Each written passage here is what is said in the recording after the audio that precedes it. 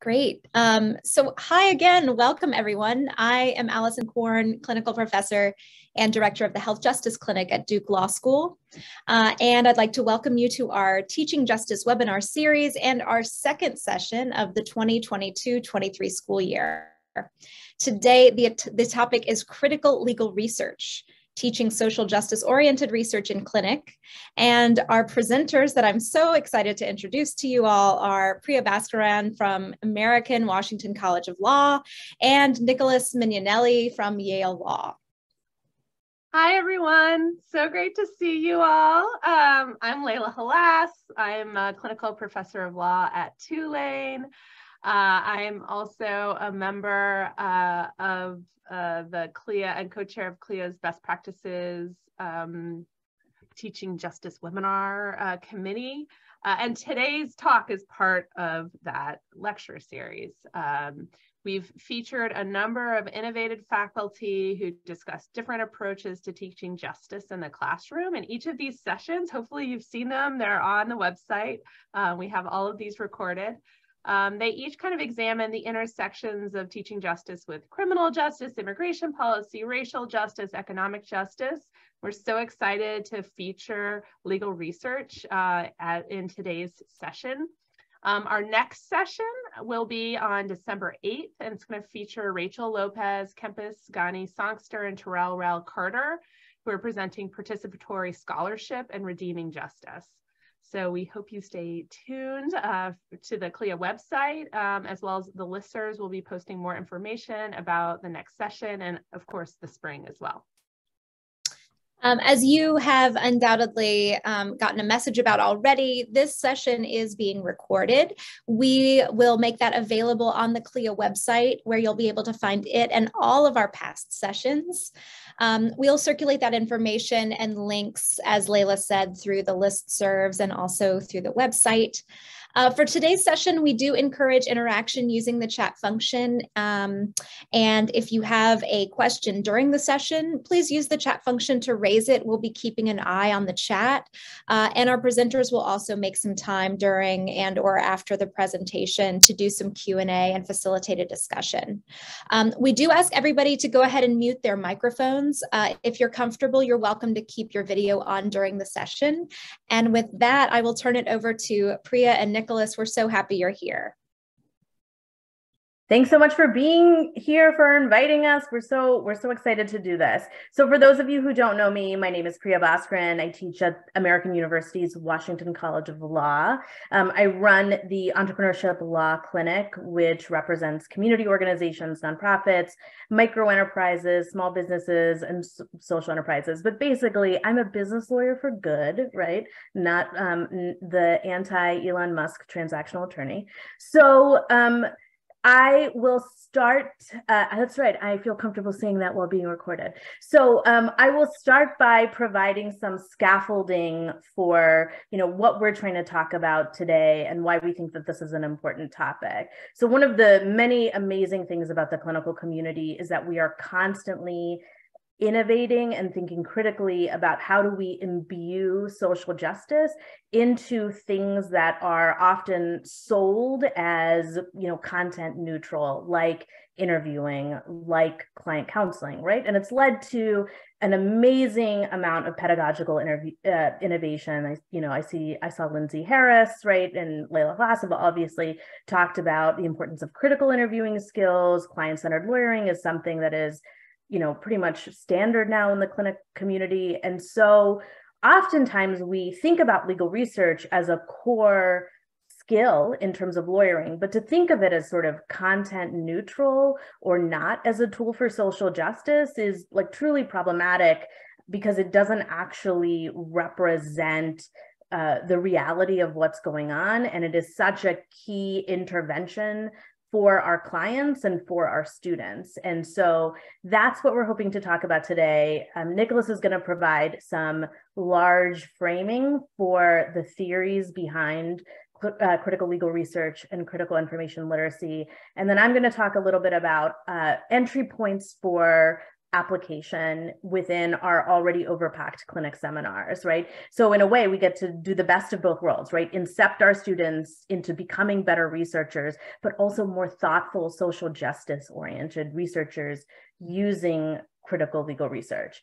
But we're going to stop there and we're going to send out a little poll um, that we're going to share the results at the end. So if we can just take a few minutes. Oh, I'm, I'm going to take the poll myself.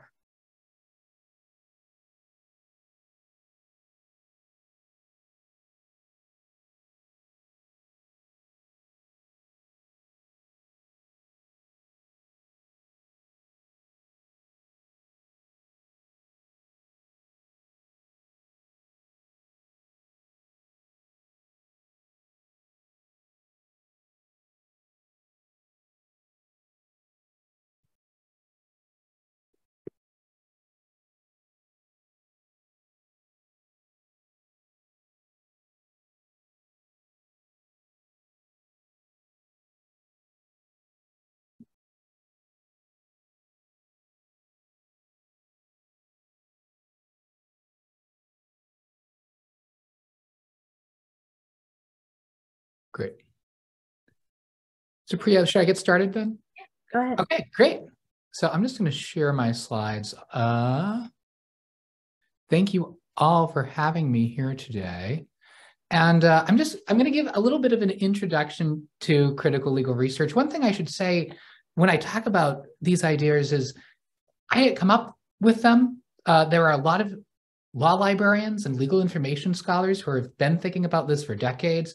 Um, so I'm I'm just trying to capture sort of what I think is going on uh, in this community of critical law librarians. Um, so, you know, when I talk about critical legal research, I would define it as applying the insights of critical legal theory to the legal research process. So, to talk about critical legal research, I kind of just have to talk very briefly about critical legal theory. I know there's a lot of uh, experts here today uh, so I'm just going to talk very briefly about it and to sort of frame where those insights are coming in. Um, so critical legal theory as sort of um, a movement that comes in three waves that are overlapping uh, with high points and that sort of there are scholars that of course continue to write in all of these schools today.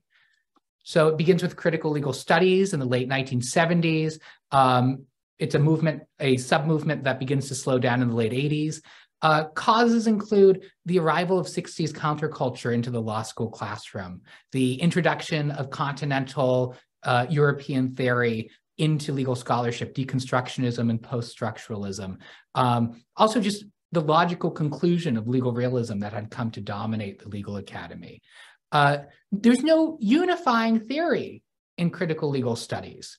Uh, but there are some general themes that we can look at. So uh, that law is indeterminate, uh, that law is politics by another means, that legal reasoning is a myth and a process of mystification, and also the reification of legal categories, uh, that we take reality and we try to shove them in these abstract categories.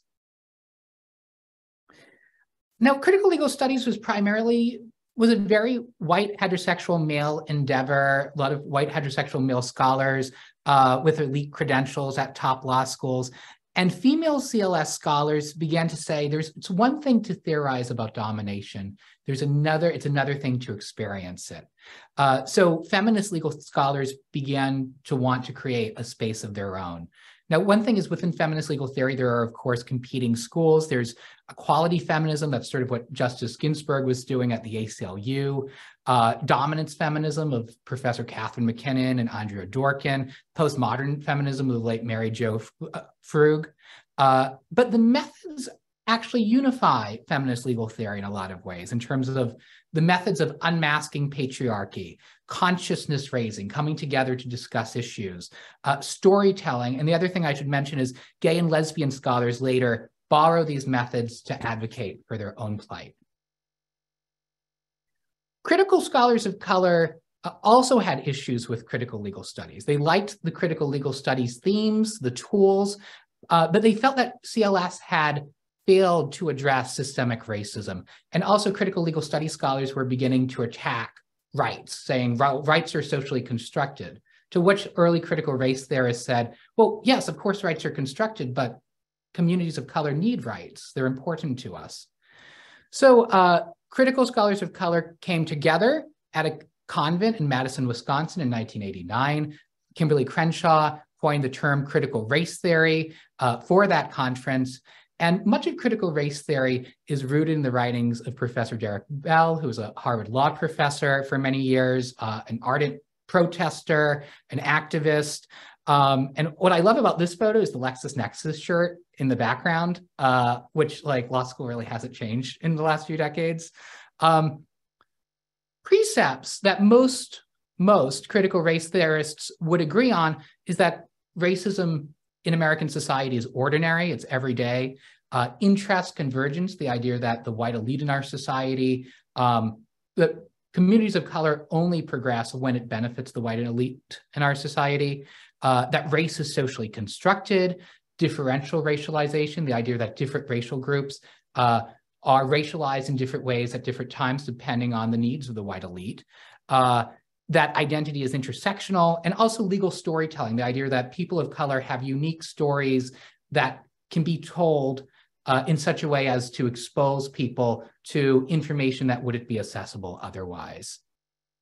Some sub-movements that come out of this are Lat crit, Asian American jurisprudence, tribal crit, and of course, critical race theory moves into fields like education, the humanities, social sciences, and of course, there's all controversy today in the political sphere. And when people, commentators say critical race theory, they usually don't know what they're talking about, uh, which is really unfortunate because it's such an important legal movement and framework. So critical legal studies and feminist legal theorists uh, did criticize legal information uh, on the margins. Duncan Kennedy writes about the reification of legal categories and his deconstruction of Blackstone's commentaries. Mary Jo Frug theorizes about what she calls authoritarian neutrality in uh, a feminist reader response criticism critique of a contracts casebook. Um, but it wasn't until 1989 when the critical race theorists Richard Delgado and Jean Stefancic give us a systematic critical theory of legal information. And this is called the triple helix dilemma. So I have to bring you all back to the late 1980s in order to sort of like tee this story up, uh, which is 1989, Delgado and Stefancic published Why Do We Tell the Same Stories? Law Reform, Critical Librarianship, and the Triple Helix Dilemma. And we have to think about what research tools look like at this time. So if you want to find a treatise or a monograph at this time, uh, you're going to use a library catalog, uh, typically based on the Library of Congress subject headings. And of course, library catalogs tend to uh, still exist to this day, but we have to think about this as the age of the controlled vocabulary. Keyword searching hadn't become as dominant in legal research as it is today. To find a law review article, you'd have to use a periodical index, such as the Index of Legal Periodicals. This, of course, exists today as a database, but here we see keyword searching eclipsing this controlled vocabulary. And to find a case, of course, uh, you would have to use the West Digest system, uh, and this still exists today. It's being incorporated in search algorithms, and I'll touch on that a little later. So the keyword here is, you know, the buzzword is structural determinism. So Delgado and Stefancic say that together these systems fu function like molecular biology's double helix to replicate pre-existing ideas, thoughts, and approaches. And they give us a very interesting hypothetical. They say, suppose you're an attorney and a Black female client comes to you and tells you that she was wrongfully terminated by a white male employer because she is a Black woman, that his comments and actions lead her to believe that she was discriminated against on this basis. And the other thing you should know is that she has two colleagues, two former coworkers, uh, a white woman and a Black male. So you decide to kind of research, is there some type of discrimination on the basis of being a woman of color? and you start with the West Digest system. And you go into the index and you see under discrimination, there's a subject heading for race and there's a subject heading for sex, but there doesn't seem to be a category that combines the two. You find cases about sex discrimination, race discrimination, but no cases that seem to combine them. You look for, maybe you say, well, maybe there's a law review article on this. And so you go into the index to legal periodicals uh, and you find under discrimination a category, once again, for race and a category for sex, but no category that combines the two. So essentially, what you're forced to do is go back to your client and say that you've researched this and that while there's categories for race discrimination and sex discrimination, there's no other, it doesn't seem that there are other causes of action. And of course, if you bring this case, a case on the basis of race discrimination, the white male employer is going to say, uh, well, I actually have very happy uh, Black employees. And if you bring it on the basis of sex discrimination, uh, this white male employer will say, well, I have very happy female employees. Um, and by the way, this was actually a real problem that faced civil rights lawyers throughout the 70s and 80s. Um, so Delgado and Stefancic say that until there is a thinker with vision and experience and I, and to identify and name this problem, we just sort of keep on keeping on. In this case, Kimberlé Crenshaw finally conceptualizes this issue uh, and calls it intersectional discrimination and describes this phenomenon uh, in order that we can begin to work towards remedying it. So what are some solutions in the research realm to this? How do we fix these research systems? And Delgado and Stefancic suggest first, the first solution would be to look to divergent individuals. So what, um, so looking to individuals whose experience has been outside the mainstream, who can provide perspectives that differ from the mainstream narratives that we encounter in research systems. Also to study the system itself, to examine the legal categories and systems for greater insight into the very conceptual framework uh, that we have been wielding in interpreting our societal order. So turning the system on its head, looking to see what's missing in order to sort of be more creative about the solutions we can come up with. Now, in 2007, Delgado and Stefancic revisit their triple helix dilemma theory. And there's had been a lot of discussion about maybe keyword searching had fixed this. Maybe keyword searching, right? Because now we're not sort of tethered to these controlled vocabularies. Now you can search for whatever you want across uh, hundreds of thousands of documents in a database. And they actually conclude that keyword searching had made the problem worse because keyword searching suppresses analogical reasoning. It creates a situation of information overload. It conceals the contingency and indeterminacy of the law. And I think the, the most troubling part is it gives researchers unwarranted confidence. It encourages confirmation bias. So their solution to this is somewhat counterintuitive, which is to shut the computer off to mull over, don't just keep searching for that next case, but to mull over what the ideal world would look like from the client's perspective, to think outside the box, uh, to try to modify and flip and radically transform existing legal doctrines in sort of brainstorming sessions. Now, in 2015, Nicholas Stump, a librarian at West Virginia University, coins the phrase critical legal research to describe this approach to legal research, this approach pioneered by Delgado and Stefancic and other thinkers like Gillian Farmer uh, and Steve Barkan and Robert Berring. Um, and these counterintuitive critical strategies and methods uh, he sort of puts into what he calls a loose framework, a CLR framework. So what's this framework, this supplemental framework to sort of um, enhance traditional legal research uh, has sort of several facets of it. Uh, internalizing critical insights, that's making critical analysis of law and legal information second nature as a researcher. Concept based research, that's pushing back against the focus on the overfocus now on fact specific research that further reifies the law. Uh, looking at alternative legal resources, trying to get beyond the legal research corporate duopoly that we're living in. Uh, legal, looking to legal scholarly and multidisciplinary research, looking be uh, looking to theoretical, legal and non-legal scholarship for solutions, for inspiration as a practitioner, um, and unplugged brainstorming. So stepping away from the computer to engage in brainstorming with other activist and movement attorneys. Now, my own work has been trying to take Delgado and Stefancic and Stump and their critical legal research theory framework uh, and combining it with scholarship that looks at legal research technology. So uh, pioneered by uh, thinkers like Susan Nevelow Mart and Ron Wheeler, uh, and to sort of look at this new phenomenon of AI-powered legal research. And when we think about algorithmic legal research or AI-powered legal research, what we have to remember is that there are biases embedded, that there is nothing objective about the answers that AI-powered legal research tools are giving you. And this is what we need to begin telling students and teaching students. This is sort of the critical legal information literacy aspect of it. Because programmers who come from a homogeneous background are writing the algorithmic rules. They're making subjective choices about, for instance, relevance. Algorithms, algorithms also rely on past user data. And those users were those who could afford uh, to use these platforms in the past. You can imagine sort of what these folks look like or where they work, government, big law firms. Uh, and so my biggest issue with AI is not only these biases that are going to be embedded, but also that as a researcher, it's, con- it's entrenching society's dominant interests in these research systems.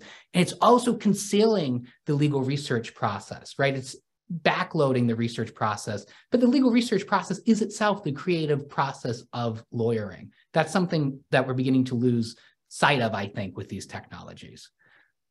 So what are some new CLR methods and strategies for an algorithmic age? And I would say um, algorithmic activism, demanding transparency, using skepticism in dealing with these new tools, teaching our students to question vendors when they say things like, AI will do your research for you. Well, what's the sample size? You're saying it will predict what the right case will be.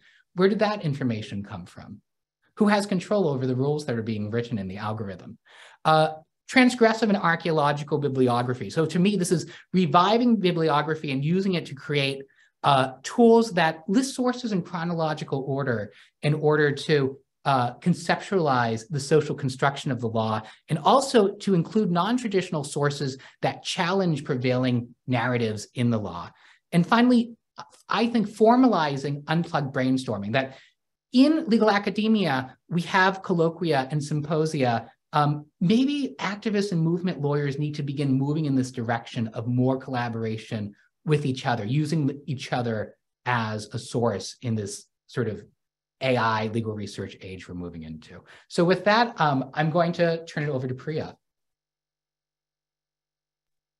Great. Thanks so much, Nicholas. So, what I want to emphasize as we move into sort of what this looks like in the clinic classroom is the big takeaways from um, Nicholas's presentation. Um, so, databases. So, you know, we started with the print resources, but remember, like Westlaw, Lexis, they're based on those print sources. So, all of that all of that inaccuracy is baked in and then built on right because through like these ai tools right? It is very hard to get a lot I, I mean i can't get my law students to stop googling when i am talking to them asking them a question of like well uh what is that what statute is involved?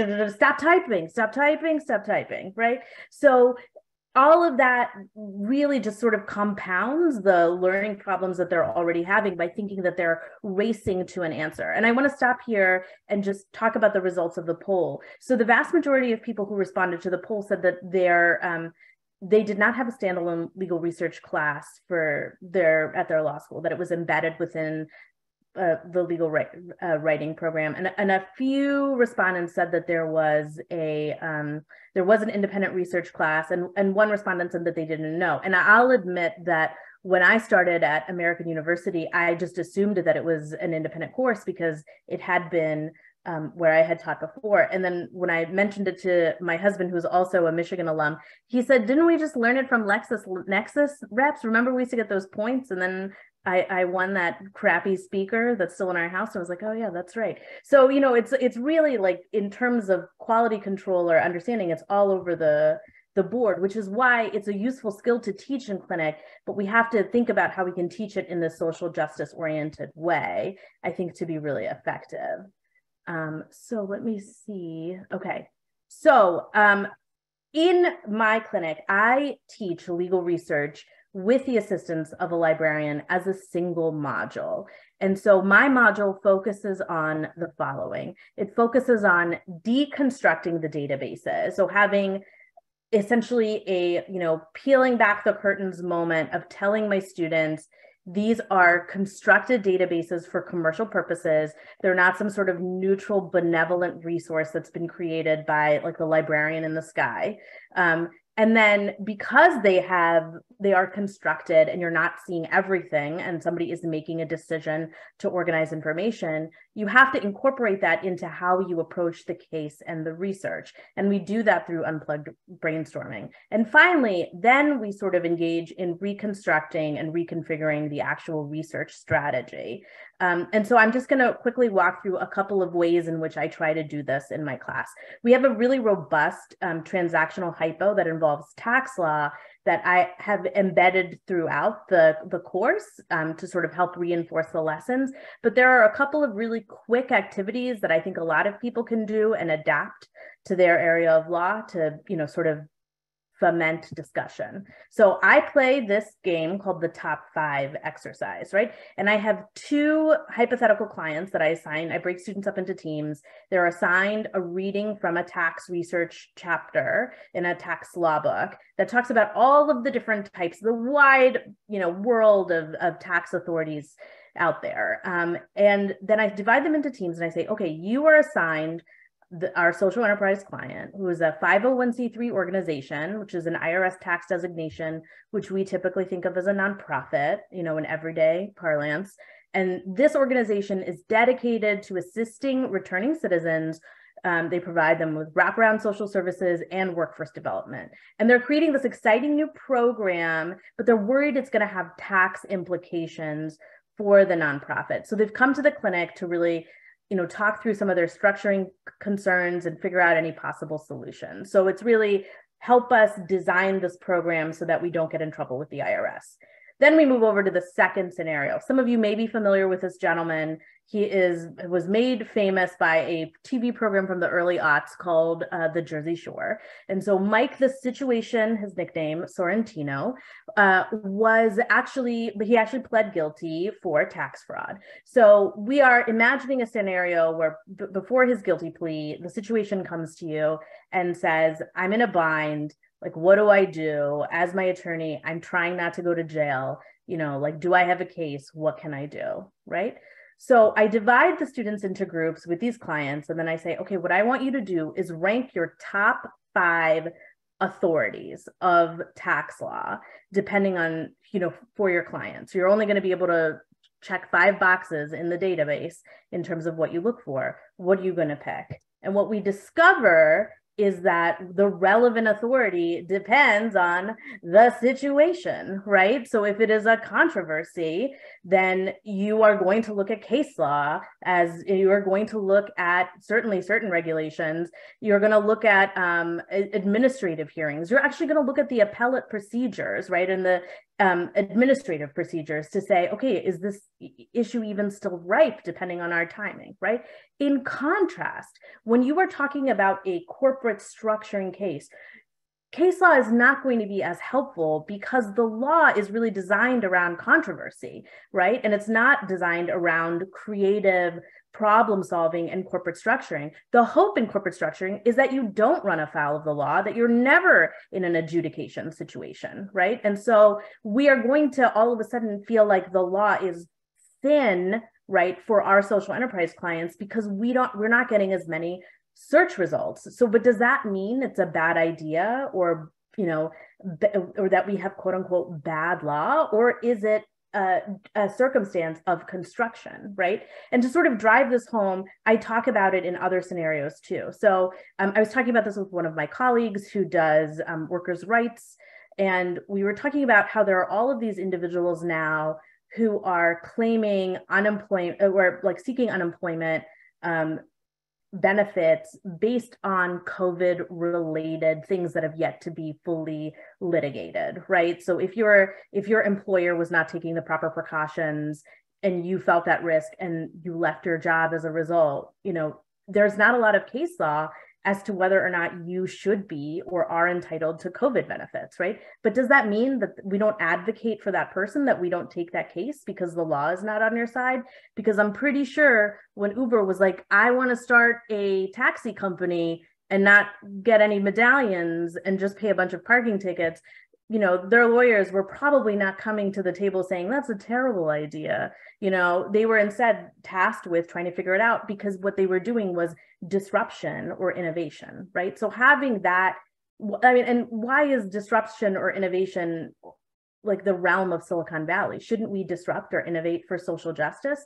And that's kind of the conversation that we try to have. So it's like, okay, now that we know that the that what the databases show us is not everything that's out there right? Or or is partial what do we do? So this is where i tell my students we have to turn off the computer right?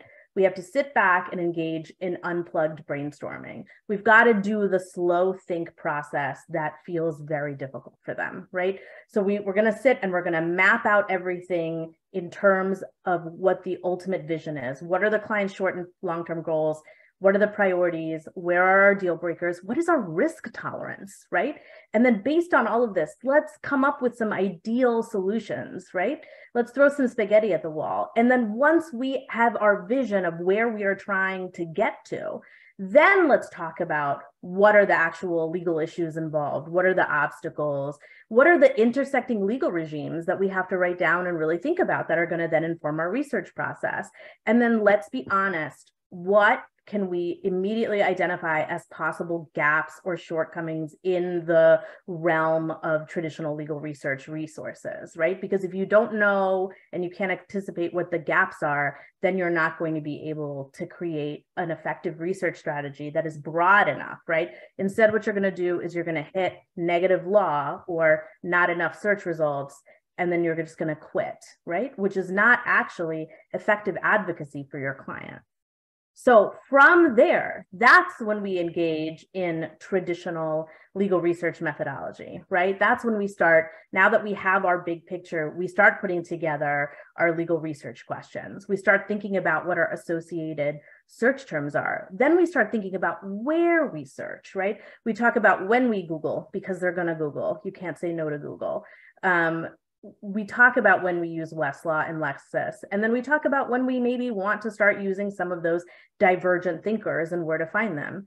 Um, and then and then we talk about when we bring our search results back, how do we read and analyze them to understand the gaps, right? And why we're not getting exact answers, right? So if we're not finding anything in our jurisdiction related to, you know, COVID unemployment insurance claims, do we look to another jurisdiction, right? Do we look to a similar, or, or like you can imagine, this is going to happen with long COVID cases. Can we look at another type of long disease like that, right? Um, you know, that is going to cause the same types of issues that we can draw a corollary to, right? So thinking like this is part and parcel of effective legal research, right? It's not just can you find the best, you know, Boolean search in order to find the, the most amount of cases or that perfect puzzle piece. So that's really what we're trying to train students how to do within clinic when we do critical legal research. So that being said, I cannot move forward for some reason. There we go. Um, Right. So we just talked about this a little bit, right? Um, about the COVID 19 um, issues. And then, um, you know, again, the the bottom line is sort of committing to this deconstruct, unplug, and reconstruct model. Um, and then, so finally, what we wanted to reiterate with both the survey results and the collaboration opportunities is that the the bar is all over the place in terms of what students know when they walk into clinic. And many of us like like me i don't get students until they're third year students. And so the chances of them having taken any re- legal research class at all in between um, their 1L class when they're researching appellate briefs. And then when I'm introducing them to the specialized tax databases, right, is very, very thin, right? So we've got to do a lot of legwork, which is why there might be really great opportunities for collaboration with the library and research faculty who might be able to kind of come in and do this work. But that being said, just as everybody is not an expert in critical interviewing, right, or trauma-centered lawyering. Not every librarian is an expert in um, critical legal research, although fortunately, I think today, just from looking at the attendees, we do have several of you. Um, so you know, to one of the things that we've prepared, and Laila, I think I emailed this to you, is we have a helpful bibliography for anybody interested in learning more and anyone interested in kind of thinking about how to embed this in their course. Nicholas has very generously offered to, you know, sort of be a point of contact to kind of talk through possibilities and exercises. Um, but we just wanted to sort of introduce the concept and really illustrate that the lecture alone of traditional research, while helpful is not effective in training social justice oriented attorneys when left on its own. And because we have this opportunity to do so much better while still training students to do traditional legal research, it's really an exciting opportunity to be able to do this work collectively. So I'm going to stop there uh, and then see if anyone has any questions.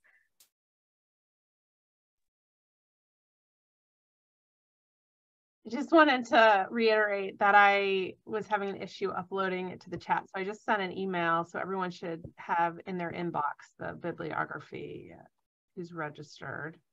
Um, and I think you kind of addressed this question or kind of earlier. I don't know, um, Nick or Priya, if you'd like to say anything further about this question that, you know, um, Jay Knight posed. Um, which you you've talked a little bit about, but kind of how you um, what you do about kind of uh, about reliance uh, on Wikipedia um, and other internet sources. So I, I, I, so I also do this exercise, which blew my students' minds. Um, where I talk about secondary sources, and you could just see like their eyes rolling around in their heads, like, "Oh, here we go," you know and um and i explained to them i'm like hey so let's let's go to my favorite secondary source for this particular topic which is written by bruce hopkins. It's the law of tax exempt organizations. It was like let me tell you what google's doing guys. It was like you like when you type in the words you need like unrelated business income tax charitable organizations. Google is literally like that claw in the arcade right? And it's just going to the table of contents in this book and then it's just pulling out a random thing, right? So, like, maybe it's the right answer, or maybe it's a total waste of your time, but you could totally not waste your time or my time or your employer's time because you he's going to be paying for that if you actually go to the secondary source and then you read and then we have um, both librarians and practitioners every time they guest lecture in our class um, one of the questions I, I asked two questions I asked. First of all, is a hot dog a sandwich? Explain yourself. And then I ask, is um, like, what is the secondary source in your area of law? And regardless of if I have an insurance law professional, a labor lawyer, right, an immigration expert come in, or a like product counsel for like a tech firm, they will say, this is the secondary source for my area of law. And I'm like, this is what you need to know. The actual practicing attorney who you want to be when you leave this building goes to a secondary source and they think that you know what that secondary source is. So rather than being the Google claw, you know, like you need to you need to read because this is the generation that's grown up with Google so they haven't like thought about it at all. So one of the things that we do in our exercise is I have a very helpful um, uh, like research log that a librarian at, at AU created specialized for my class. We work together on it. And at the top, we we have a little key that's like, when do I Google? And it's like you Google if you don't know the definition of something. If you know the legal term that you are looking for, try the secondary source first, right? Or you know, go start from there so that it will it will lead you down a more concrete path. But I think really explaining to them the expectations of the field but then also what what the machine is doing is is super resonant. Now my students were in week 12 and my students don't go to google anymore as the first thing if they know the term. I'm going to do the really annoying academic thing that you do when you want to answer a question but then it allows you to talk about what you want to talk about. Uh, so, you know, it reminds me there's a study that came out recently where social scientists said that like judges are relying on Wikipedia now, and which is just like incredible. And I always say to my students, Wikipedia is fine, Googling is fine, but why would you waste your time on Wikipedia when you have access to AmJur or CJS or all of these incredible treatises? And uh, I think this is a problem of knowledge with our students. And this is, I'm a librarian, so of course I'm going to say this, but I really think what we need in the legal academy right now is a standalone legal research course extricated from writing. Because what needs to happen in that course is we have been gutting public libraries in this country for decades.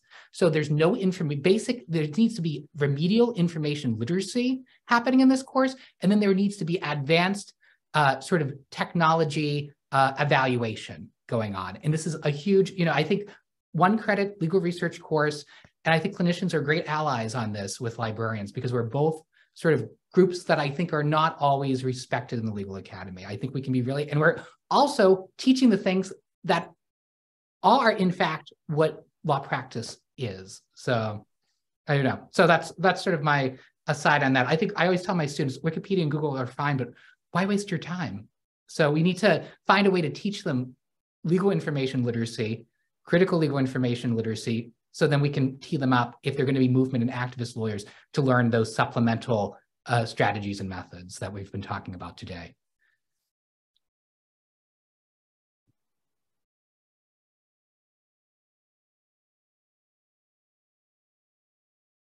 We're open to criticism too. I have two yeah. small children. I could take a punch. Any other questions that folks have?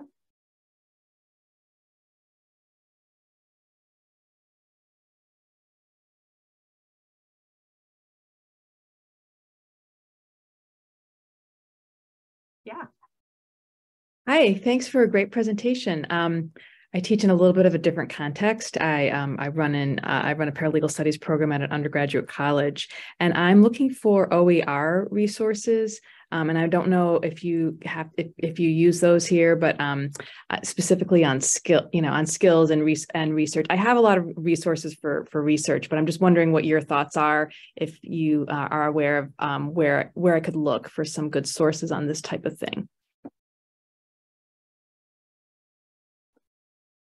You know, I think often they're kind of like collectively generated I think I think that's been my my view is like some of the best kind of materials tend to be sort of like created by instructors, and I wish there was more like clearinghouses to sort of share them. Um, so I don't know. That's I don't, so other other folks might have some advice.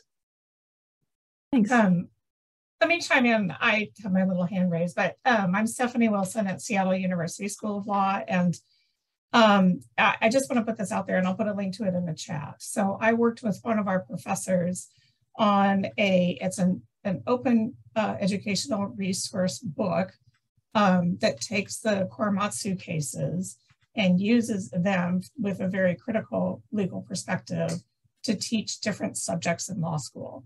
And I co-authored the chapter on legal research analysis and writing.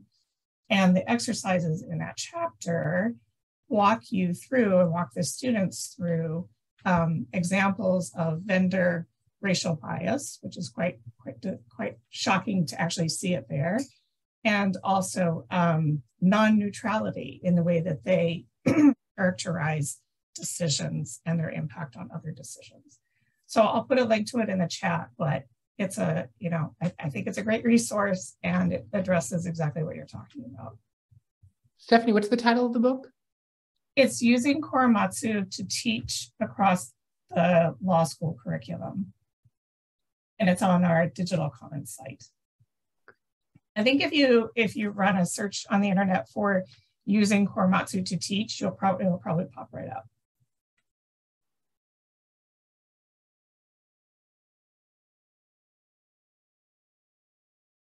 That looks great. Thank you so much for sharing that.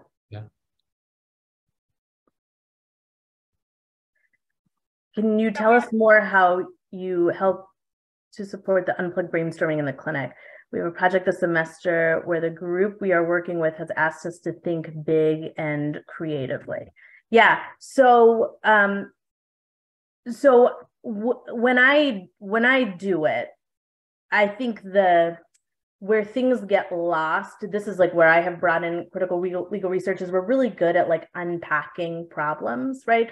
So i usually go through the list of, of prompts from my slides are are prompts that i go through with my students right? Where we sort of we sort of map out the like the goals priorities obstacles and then we map out like the legal things that we see.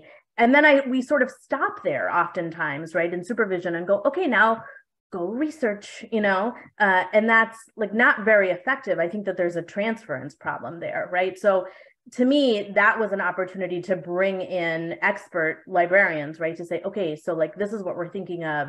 What are the research questions that we're going to create? Um, where are we going to look? And let's start building out our research logs so that we know where we're headed in terms of our research and then the next time we check in i want you to fill in your research log so i know where you've gone and we know where we can i can literally see where you are hitting no results or what results you found that you want to keep pursuing so that I can actually kind of track where the thinking is headed. Um, but I think it's very hard for students who might not have had a ton of research experience to begin with to then take the complex questions that we're asking and then apply it. Because otherwise they're just going to go to google. Sometimes they give me an answer and i'm like where did you get this? And they're like i found it on the drinker biddle website. I'm like why are you going there? How did you get there? And they were like well google took me there. I was like oh here we go. Here's the the claw of google. Right? So i think that that is that's why bringing it in. And, and honestly i think what every law school should probably be doing is try to figure out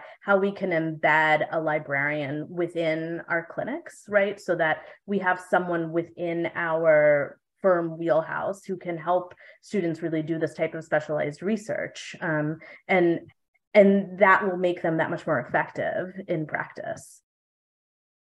I hope that answers your question. Yeah ron go ahead. So Am I unmuted? Yes. Um, thank you. This is fantastic. And my first question was, would you come and do this at BU? But um, um, I recall that it's being taped. So hopefully I'll have um, access to that to show to all of our faculty and everyone that will listen. But um, my um, comment is that we're experiencing that students are using less and less in-person reference um, so at former jobs of mine at former law schools, we, we actually did embed people in the clinics and it worked. It worked um, to an extent, but often the librarians complained that they sat there and you know they got two questions this semester because you know how it is in the clinic. It's when you need it, you need it, and when you don't, you don't.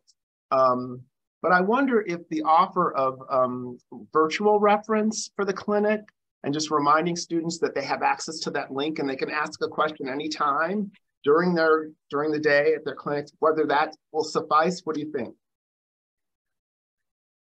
Um, I think that, yeah, I think that that could be a really great solution. Actually, if we could do the embed during, it, it, depends. So my clinic has a really large seminar time. So if we could do the link during the seminar time, I think that that would be really effective, right? To essentially have a, a, a, like a librarian quote unquote on call, right? Rather than like a dedicated thing. I think that would be a great solution. Sorry, Stephanie, I did see your hand. Yeah, thank you. So I wanted to talk a little bit about the embedding that we've done at Seattle yeah. University School of Law. I've talked about this in different places, but um, so the benefits of it. So what we do is we actually have, and this is dependent on staffing and other things going on, of course, but we would actually embed a reference librarian as a co-professor in a clinic. And that way um, you work with the professor before the class starts and figure out where the pain points are going to be, where they will be struggling with legal research. And then the librarian, come, well, you come in at the beginning so that you're introduced as being part of the clinic and also under the confidentiality rules of the clinic, which um, takes away a lot of student inhibition about uh, talking to librarians because they're outside the firm. Um, and then the librarian comes back in when students are doing case rounds or are, you know, starting to frame the legal issues in their cases. And they're starting to really worry and be scared, right? So then you, the librarian comes in and says, okay, you're working on this type of issue here's a here's an approach to break it down and talks them through that and here's an approach that would work to research each of those components um, so that's a way to to be involved to be um, to really match the research instruction with what the students are struggling with right in the moment when that's happening so I think it could work virtually too. I mean, we've we've done that with clinics that were only online as well. That's great. Thank you. Ron. Sorry again. I no a lot. But um, eh, Stephanie, that reminds me that it, it sounds very similar to the approach that we at BU and many people, many other schools take with, with legal writing, right? So we co-teach uh, the first year legal research and writing course for the exact same reasons, sort of to sort of um, um, give the librarian sort of street cred in the legal writing arena, but also to, to demonstrate that the process of legal research and writing isn't bifurcated, right? It's like you, you, it's it's it's all a big mishmash. You research while you write, you write while you research, kind of thing, and just being there and teaching lessons as part of you know part of the course. Um, it sounds it's effective in legal writing, so it makes complete sense in clinics. If you ask me, but we just don't have the staff. Yeah, I mean. That. Sorry, I was going to say I would love to kind of continue this conversation in part because the at least at AU, the clinics overlap a great deal, right? We have two transactional clinics. You know, we like we have a immigration and a human rights clinics. So you could see where their research worlds sort of coincide, right? There's a criminal justice clinic and a family law clinic, right? So in a domestic violence clinic. So there's a lot of great opportunity for sort of intersection and synergy and to train law students that law does not exist in a silo, right?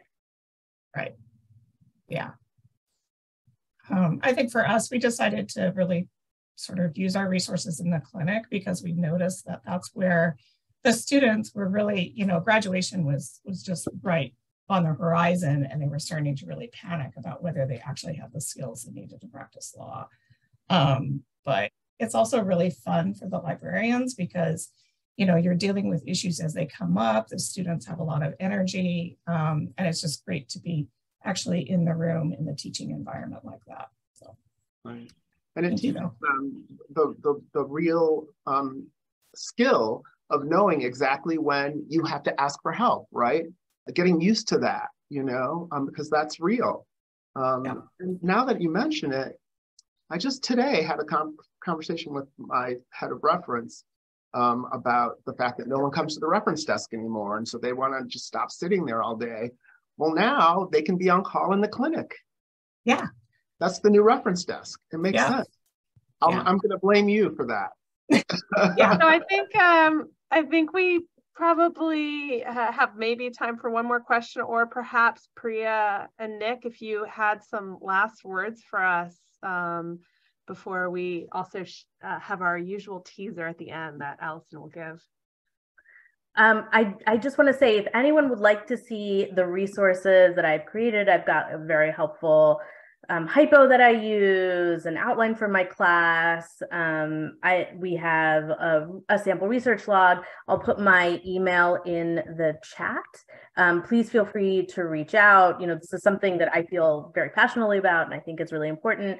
Um, Nicholas, if you don't mind putting your email in the chat, if anyone wants to reach out, also um, to sort of talk to Nicholas about. He's taught a really great class before on social justice um, so social justice legal research, you know, I'm sure that he could sort of bring a lot more like, ideas to the table as well. And I'll turn it over to Allison for the spiel. Yeah.